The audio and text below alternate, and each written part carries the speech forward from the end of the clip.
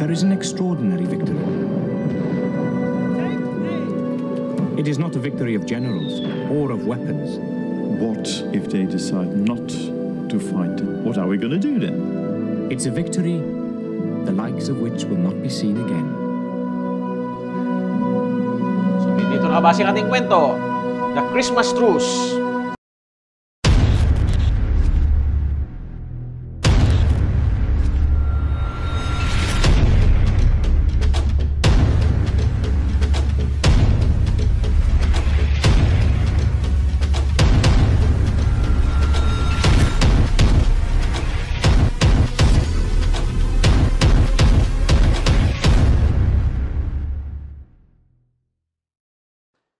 Kung gusto niyo masubaybayan ang mga istorya ng sundalo ng bayan, pakiclick ang like at subscribe at pindutin na rin ang notification bell. Ang ikukwento ko sa inyo ngayon, isa sa pinaka-historic na kaganapan noong World War I. Christmas truce. Ano ba ang nangyari doon? Sino ba ang may pakana kung bakit nagkaroon ng Christmas truce doon sa trenches ng Western Front? Panoorin natin.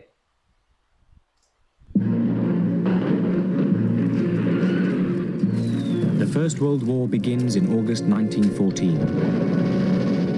Ten Itong First World War, kilala rin sa Great War, ay nagsimula ito actually dahil sa pang-atake ng Austria, Vienna sa Serbia. Kumampi ang Russia at yung Germany na involved. Ah? So yung Germany kasi matagal na rin may balak na atakihin ang France. No? Matagal na sila naggawa ng plano na kung tawagin ay Schlieffen Plan. At sa pangunguna ni Von Moltke, German Chief of Staff, at ng kaniyang Kaiser, si Kaiser Wilhelm II, ay sinakatuparan nila yung Schlieffen Plan, August 1914. Ito yon. million men are about to die. Thoughts of a quick victory soon fade, They were promised that the war would be over by Christmas. and the West Ayon sa kanilang plano, yung gera ay matatapos within six weeks. Yon ay kanilang gagawin sa pamamagitan ng pag-atake sa France through Belgium. At within six weeks, dapat nila matatapos dahil sa kanilang estimates ay hindi pa handa ang Russia na makapag-mobilize ng kaniyang tropa within six weeks. Diskarte, di ba? So mayroong tinatawag ng mga estimates ah, base doon sa kanilang planning. Tingnan natin ano nangyari. Western Front becomes the deadliest place on earth. the weather certainly becomes a bigger enemy than the enemy. Then in December, Hindi lang bala nakapatay sa kanila dito, mga sakit doon sa trenches. Kasi naging trench warfare.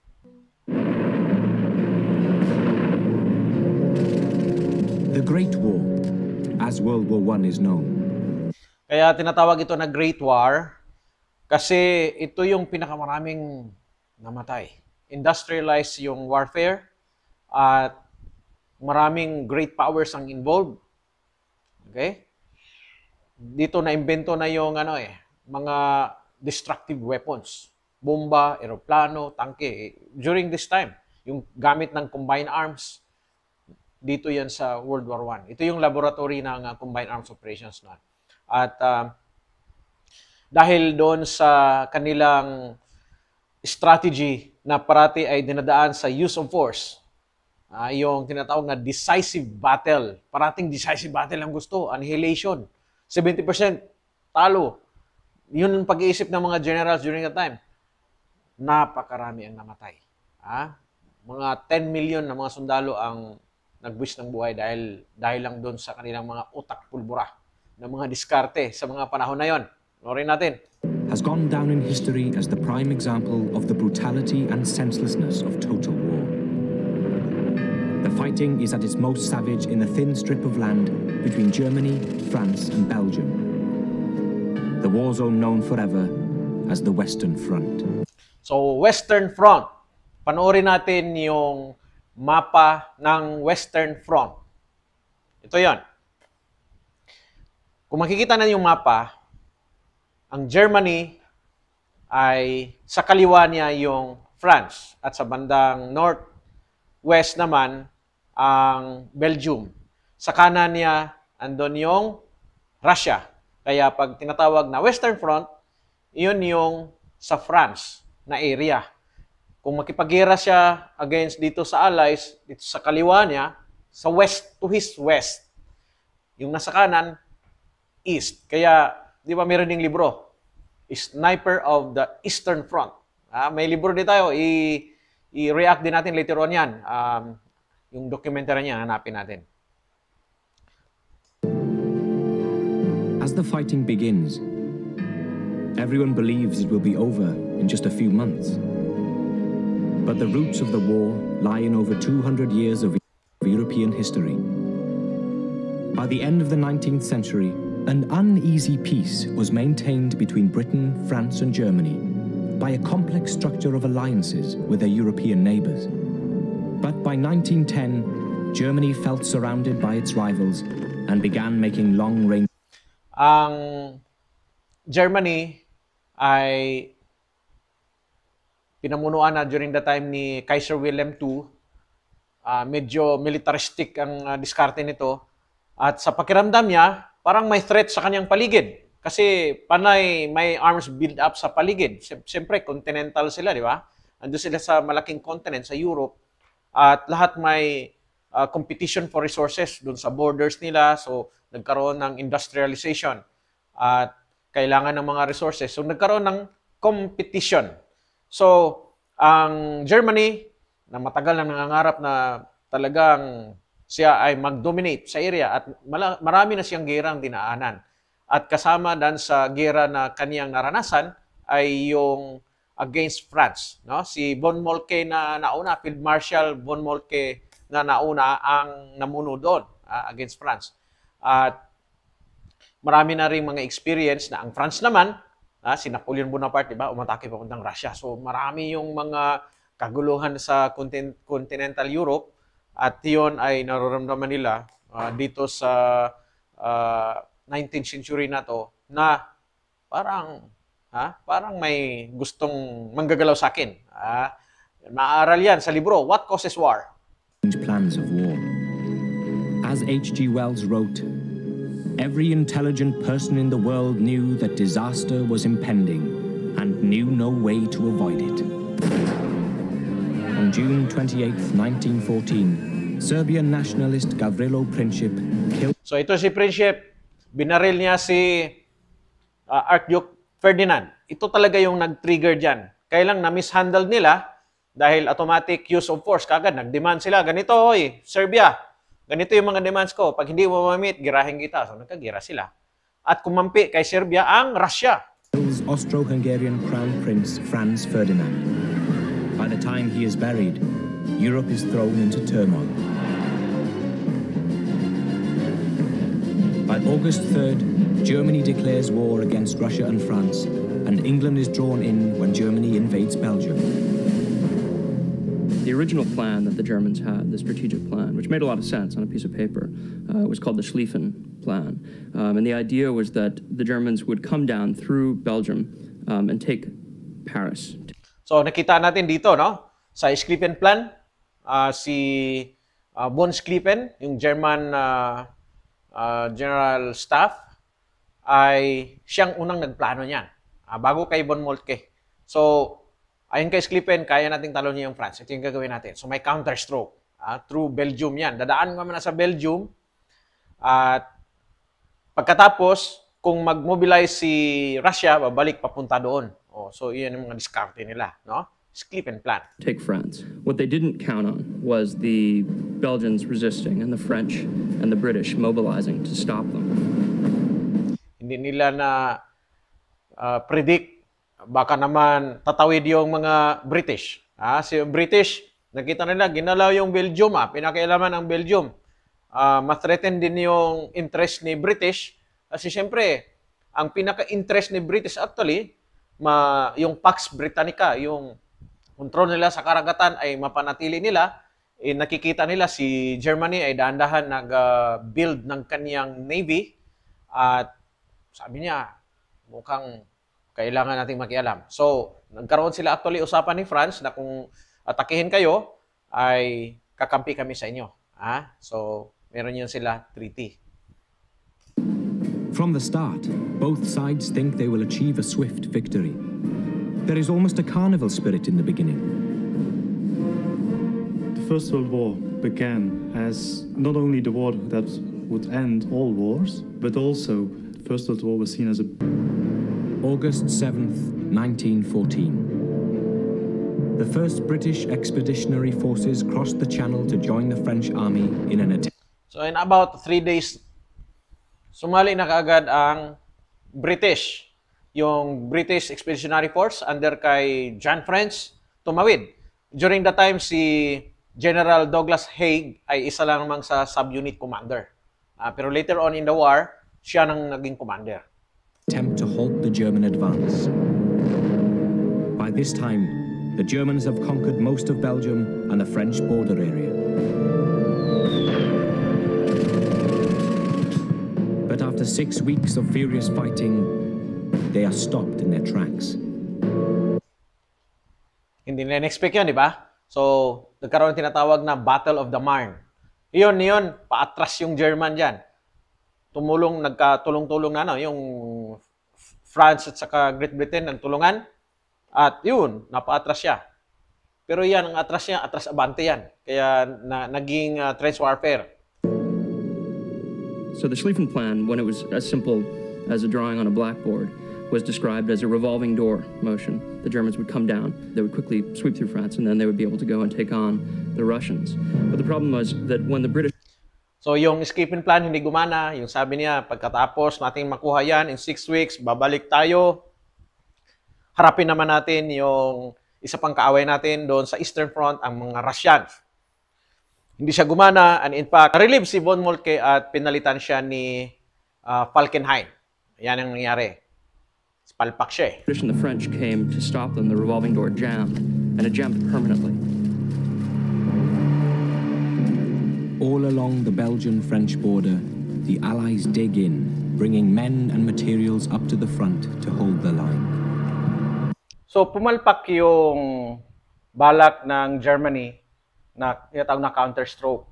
Ang ayon dun sa plano nila na atakin yung France within six weeks, lilipat sila sa Eastern Front at yun ay against Russia, hindi nangyari yun. Nabalahaw sila doon. Nabalahura sila doon sa Western Front. At doon sa Eastern Front ay nagmobilize yung Russia. Mababasa natin yung ah, actions ng mga snipers. Ito yun, oh. Ah, sniper on the Eastern Front. So, nagkadalawa na yung problema ng ah, Germany during that time. Meron sa Western Front, meron pa doon sa Eastern Front. Nagkahati-hati yung pwersa niya. Lumaki ang problema niya. Kaya, naging trench warfare. At hindi nagagamit yun kasi mga utak pulbura sila, hindi nila nagagamit yung mga concept dito sa Supreme Command. Ha? Kung ano dapat ang civil-military relations ah, between the commander-in-chief at saka yung mga generals. Ano ang political objectives? Klaro dapat. Ano ang gusto mong i-attain sa gera at paano mo ito tatapusin? Ano yung gusto mong i-achieve? Political objectives yon. So, hindi pwedeng general lang masusunod. Gusto ni Von Moltke, sabi na, o sige, ako maging ah, German General Staff, akong upo dyan. Pero ako masunod, huwag ka makialam. Sabi niya kay ah, Kaiser Wilhelm. Mo naman yun, ha? At ganoon din yung mga ibang mga generals dito, yung France, pati yung sa ah, sa Great Britain, masyadong powerful yung mga generals nila. Panay decisive battle lang hinahanap nila. Kaya maraming namatay. It's very, very ngayon. punitive. Both sides have just dug in wherever they've just happened to come to rest, if you like, after the early opening battles. Ayan sila. Trenches are just cut through muddy fields. In Flanders, hirap-hirap na certainly sila around Plug doon Street, sa ano. the water table is very, very high. So three and a half feet down, you strike water. So ito yung nagpapahirap sa kanila in the early months ng ah, warfare, ah, yung trench warfare, tingnan mo naman, oh, putik-putik, may tubig. So, maraming kuto. Nagkakuto sila dyan, yung alipunga. Nandun na lahat ng problema nila. Wounded ka pa. So, ang itsura, oh. Mo- gaano kahirap yung inabot nila. May ulan, may abot sila ng winter. Hirap ang dinanas sa ating mga sundalo kung alalahanin natin ang paghihirap nila. Tactically, the Mabuti na lang, hindi tayo na-involved dito. Ah? Ah, sa World War I, under tayo ng Amerikano. Ang ah, andito pa noon ay yung mga American forces, nakikipaghirap pa sila during that time, 1914. Germans always occupy the high ground, so we find ourselves left in a dip, men literally almost up to their necks in water. Now, that's no condition to fight. When people first arrived in the trenches, it was a shocking, arresting, frightening environment. It's a subterranean world. Uh, you're in these trenches that are cut in the ground, lined with planks on the floors. So nakita mo yung paghihirap nila talaga dito sa trenches, no? Both sides to, Germans saka yung ah, mga allies, ah, French, Belgians, no? Kita mo naman yung paghihirap nila. Um, matinding human suffering. Ah, kaya umabot lahat-lahat na pati mga civilian, no? Umabot ng ah, 37 million ang namatay. Both sides, lahat na. There's barbed wire up above. Um, you can't see over the trench, and if you do go up and look over, there's a good chance you'll get your head shot off. By the time the trenches are all dug, the trench system stretches 600 miles from the North Sea all the way down to Switzerland. Kita mo yung trenches, 600 miles, ha? From north to south. Tingnan mo gaano kahaba 'yun, ha? Gaano karami ang mga milyon yung sundalo dito, ha? Yung na-deploy dito. From the ideal. The weather certainly becomes a bigger enemy than the enemy because every day, you know, maybe uh, there's a, an amount of danger from the enemy, but but there's definitely going So matindi ang mga paghihirap, di ba? Tapos all of a sudden may pangyayari dito. Ano 'yon yung pangyayari? After several weeks, may malaking offensive silang ginawa ang ah, mga allies at noong December 1914, ito na yung nangyari. This offensive has the opposite effect. Both So. Allied and German troops are slaughtered in the largest numbers of the war so far. Yung offensive nila ng December 1914, sus, akala nila may mananalo na, maraming patay uli. Nag-ipon-ipon sila sa... Kami may pati medyas ilagay namin din sa apoy. Sounds of some sort are drifting across the dark no man's land. Sounds no one has ever heard before in this war. It's the sound of singing. The Germans must be planning a trick.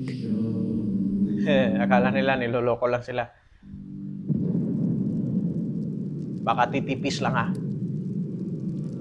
On Christmas Eve 1914, in the fifth month of World War I, Allied soldiers are surprised by what they are hearing over from the German trenches. They are astonished by what they see. At first, everyone assumes it must be some German trick. And that was how it started on Christmas night, with the lights on the German trench and songs being sung back and forth.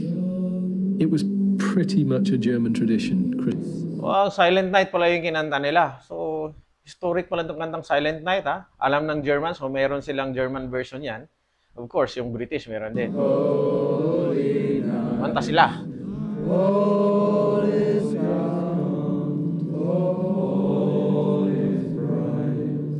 Both sides of the uh, of the Western Front, on both sides of No Man's Land, were singing the same hymn or carol, but in different languages at the same time.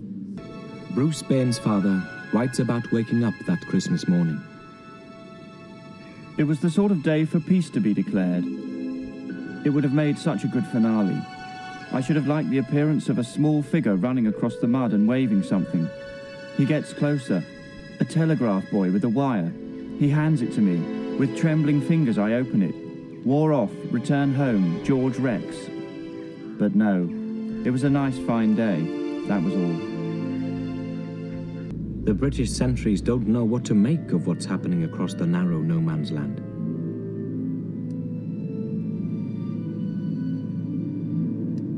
Just imagine, about 300 meters away lang yan sila from each other. Ang iba, 25 meters lang.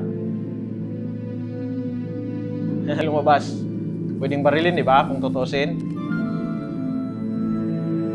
So, nakita niya, parang wala naman dalang armas. Yan.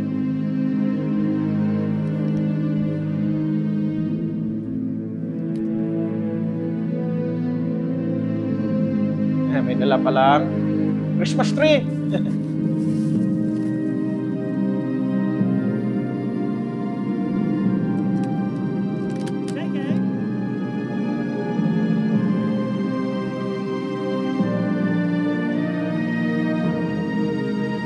Lumabas yung German.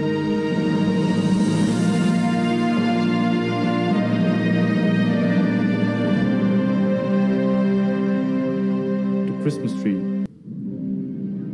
Private Leslie Walkington Nilalaman niyo, bakit may Christmas tree para sana yan? So then we began to pop our heads over the side and jump down quickly in case they shot, but they didn't shoot. And then we saw a German standing up waving his arms, and we didn't shoot.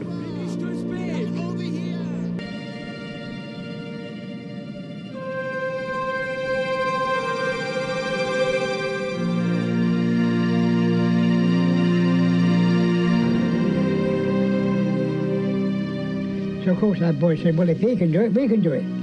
So Sergeant Major said, get down. So the boy, oh, no, shut up, Sergeant, it's Christmas time. Unexpected yun ha. Sa gitna ng giyera, nagkapatayan na sila. Marami na namatay during that time. In the uh, first four months of the fighting, napakarami nang napatay. Nagkaharapan na sila dyan sa Western Front, sa kanilang trenches. Tapos, wala namang declaration yung kanilang political masters for a truce. Ang mag-decide yan, political masters. Wala ring sinasabi yung mga general, sa level lang ng mga sundalo, humanity ang tawag doon. No? So, na, namamayani ang tinatawag na humanity. Kaya sabi nila, parang nag, nahimasmasan sila. Christmas ngayon, mayroong pwedeng may puwang ang kapayapaan, kahit temporary, so kita-kita sila. Kami friends, ha? And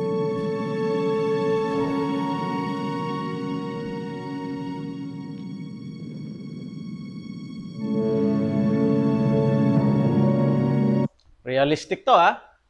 Eh, This is a documentary. It's uh, based on a true story.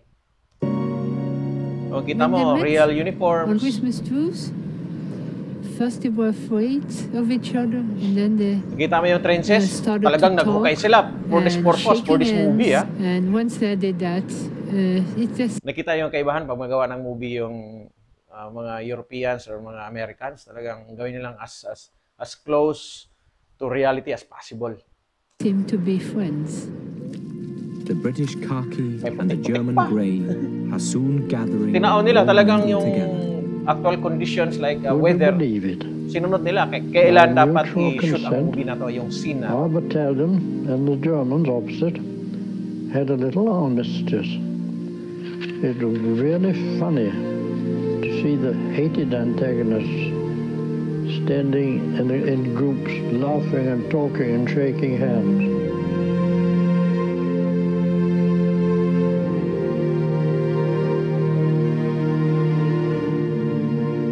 These men have no idea that this moment is going to resound through history.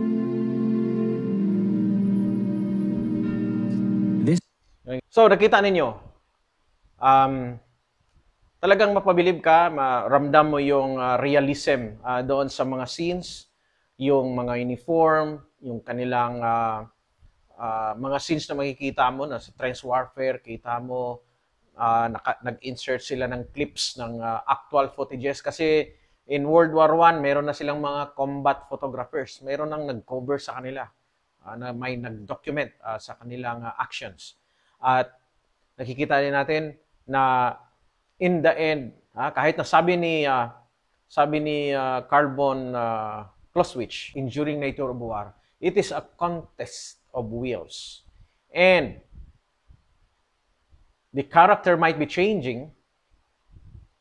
Iba-iba na yung yung ah, mga armas na ginagamit, mga diskarte na ginamit, pero yung nature niya ay hindi yan magbabago. Enduring nature. Ano yun? Mga tao yan na naglalaban-laban na gustong manalo yung isa. Oo. So, yung contest of wills, yung will to fight. Sa kanila, temporarily, siyempre, set aside mo na yung will to fight. Everyone wants to win. Yung kanilang mga generals gustong manalo, sikat si general pag manalo, pero alam natin, ang nangyari dyan ay humaba ang gera from six weeks na prediction ni uh, Moltke at ni Sklipen, eh umabot hanggang 1918, 1914 hanggang 1918. At hindi ngayon matapos kung hindi pa tumulong yung American forces. Ah, si Brigadier General John Pershing na veterano dito sa Pilipinas, galing siya sa Pilipinas, um, dito siya nag-general, ay pinadala doon to lead the American Expeditionary Force, 1918. At umabot ng isang milyon ng mga sundalo ng Amerikano ang nag-reinforce doon, kaya nabago yung tide ng war at naipanalo nila yon kaya nagkaroon ng pag-uusap. Nagkaroon ng pag-uusap, trasan. Hindi nila wipe out ang lahat ng mga Germans. Okay? So, hopefully, uh, natutunan natin ang mga aral na uh, binigay sa atin ng kasaysayan, World War I. At uh, Christmas ngayon, harinawa ay mamayani sa atin ang uh, kapayapaan, pag-iintindihan, pagbibigayan. Um, isa rin sa aking advocacy ay ang pag-iintindihan ng lahat ng Pilipino, ang pagtapos sa lahat ng mga hidwaan, nang sa gayon ay maging handa tayo para sa ating kaaway. Iyon ay ang mga puwersang mapanakop na posibleng mang-aagaw sa ating teritoryo. Maraming salamat and Merry Christmas sa inyong lahat.